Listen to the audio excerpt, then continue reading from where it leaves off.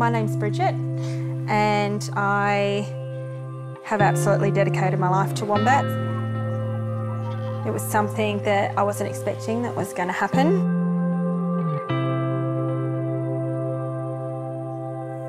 Everything that I had and everything that I wanted to do came, became revolving around wombats because all I wanted to do was know more about them. So without a second thought, we sold all of our properties, left family, friends, work, everything, and moved to South Australia.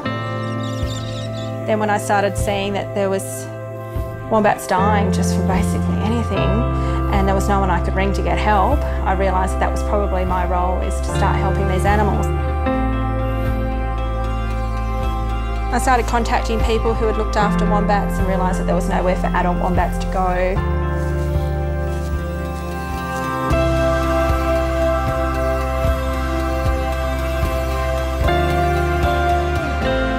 Treatment of them has been nothing short of horrifying.